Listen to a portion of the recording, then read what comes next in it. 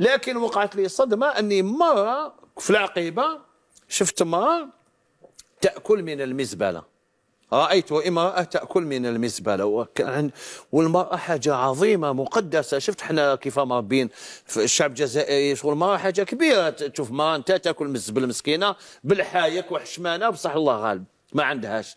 هذه اللقطة حركت فيها أني لابد أن أفعل شيئا.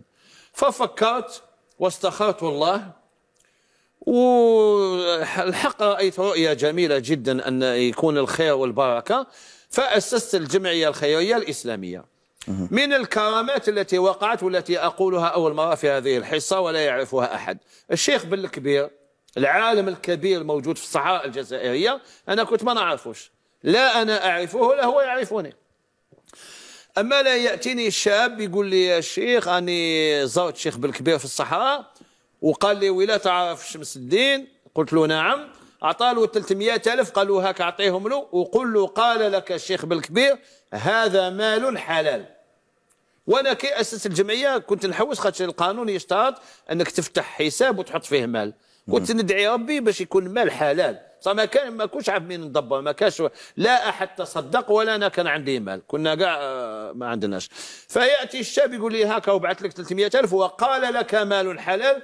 فكان أول مال دخل إلى الحساب. نقدر نقولوا أنه هذا 300 ألف هي اللي فتحت لك الجمعية. هي التي فتحنا بها بهذا المال الحلال الذي أرسله العلامة الشيخ بالكبير فتحنا آه، طيب الحساب. طيب معناتها هذه 300 ألف اللي تحدث عليها الآن كانت آه، منعرج في حياتك في المجتمع المدني. بدينا العمل الخيري. طيب. بديت العمل الخيري وأنا ليس عندي شيء لا مقر لا مال لا محسنين لا والو. ولكن انطلقت توكلت على الله. فاتصلت بالبلدية كان الحاج روان آه، إذا وحي الله يحفظه. إذا مات رحمه الله رئيس البلدية. أعطاني مقر. ذلك المقر ليس فيه شيء. جدي الحاج صادق رحمه الله خدم لي كرسي نقعد عليه. كرسي ما كانش عندي حتى كرسي.